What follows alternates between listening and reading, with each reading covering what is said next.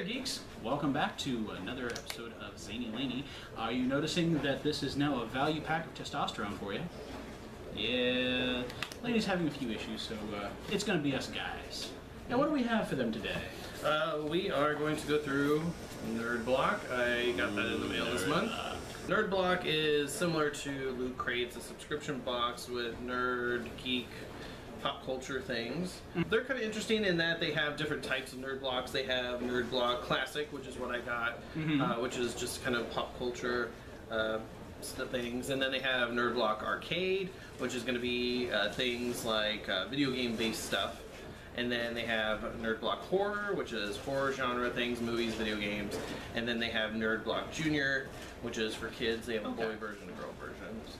Okay. Now, uh, Nerdblock does come from Canada, which means that uh, while it's the same price as uh, Loot Crate, the shipping is going to cost an extra ten dollars.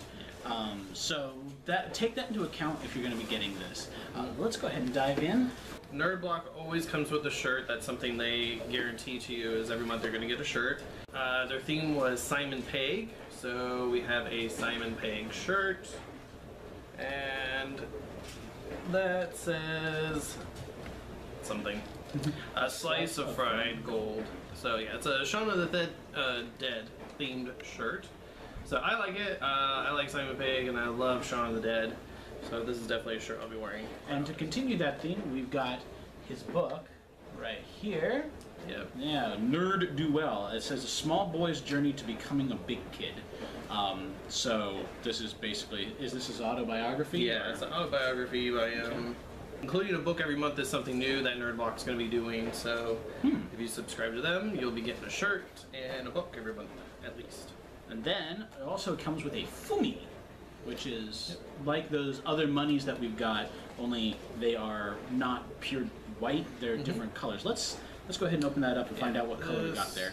So they can come in white, purple, blue, red, or yellow. This is kind of cool. Alright. so, It's a Super Saiyan Foomi. so, yeah, he's got a little tail. He's got cool hair. Oh, this is fun. This is so much fun. Okay, so um, we have Mr. J's April Fool's Kit, and inside, It's basically themed off of the Riddler. Or, I'm sorry, no, oh, sorry, that was way wrong. The Joker. the Joker and uh, Mr. Freeze. So you've got a pair of ice cubes you could freeze in your freezer and put into your drinks, but it's made out of plastic, so it doesn't completely melt away. So you just get these little floating. They got bugs in them. yeah, little flies. Kind of freak out somebody. And then a whoopee cushion. nice. which has Harley Quinn on it, and she's like riding a little rocket. So that's Still safe for work though. Alongside it, we also got this magnet that shows Star Lord from Guardians of the Galaxy. Yeah, and everybody got something a little different, different character from the Guardians of the Galaxy movie with that. And on that same note, this was the exclusive item, wasn't it? Yes. Now, um, this is actually part of a, a little bit of a controversy going on. There we go. Uh, with uh, Nerd Block, because this was supposed to be this really exclusive item, but it ended up being. It looks like it came from Dollar Tree. Yeah, yeah, that was something that a lot of people once they got it, they were going to Twitter and kind of voicing their concern with uh, Nerd Block about how uh, they're advertising this month. Oh, there's going to be this Guardians of the Galaxy thing in there. It's going to include Baby Groot, and it's exclusive to us. Yada yada yada. So it's one of those nested dolls that you see, and so you've got Groot, got Drax, Star Lord, Gamora, got down to Rocket.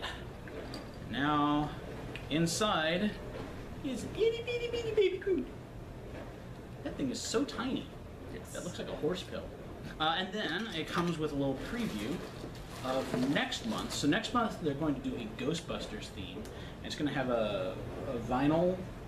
Yeah, they're including a vinyl um, figure of some sort from Ghostbusters. Mm-hmm. So, and that's something they do too. Is like when you get your box, they're gonna have like a little preview of next month, so you can kind of um, decide if you want to keep it or not.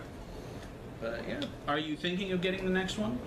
uh, No. Uh, next month um, is when Marvel's coming out with their Collector Corps uh, box, uh, their blind box. Uh, it's their first month, so I'm actually uh, signed up for that, and I'm excited to check that out when that comes out next month.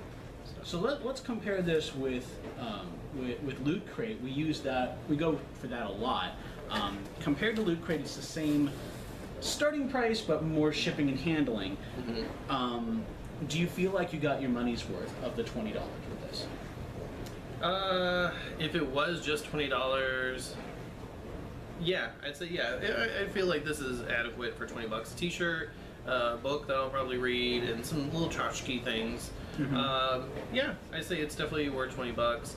But since I live in America and it's costing an extra ten dollars to get here, and I know like yeah, shipping costs. But um, comparing to the other subscription boxes out there, I'm probably gonna stick to other ones. Okay.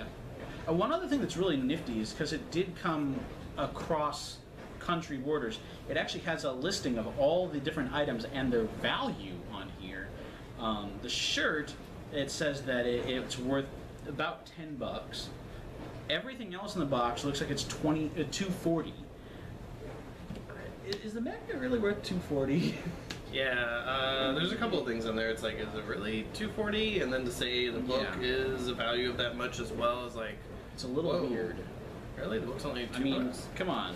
That's pretty. Simon Pegg's autobiography's gotta be worth more than That's if it's like a ten dollar book. Yeah. So there you go. That is Nerd Block. Um, Yeah, maybe I not like- next time, but it was a nice try. Yeah, yeah. I mean, if you want to try something different than Loot Crate, Mm-hmm. I say this is something comparable. So if you're looking for something a little bit different, definitely something to check out. But for me personally, I'm not gonna really stick around with it. All right. So there you go. And until next time, keep calm. Stay zany.